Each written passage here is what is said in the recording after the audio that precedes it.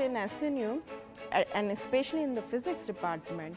we try to cultivate the temperament of research in our students since very beginning of their first year. So besides having projects involved in all the courses that they take during their first year, we encourage them to take some internship, summer internship just after finishing their first year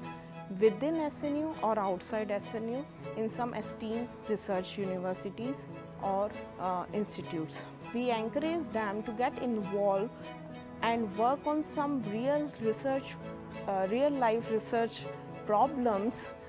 with some faculty within the department and they can have a multidisciplinary uh, involvement also with the faculties in other uh, departments to get a hands-on experience on a research problem through OUR projects. So, uh, like from the beginning of second year, most of the students in physics department are mainly involved in research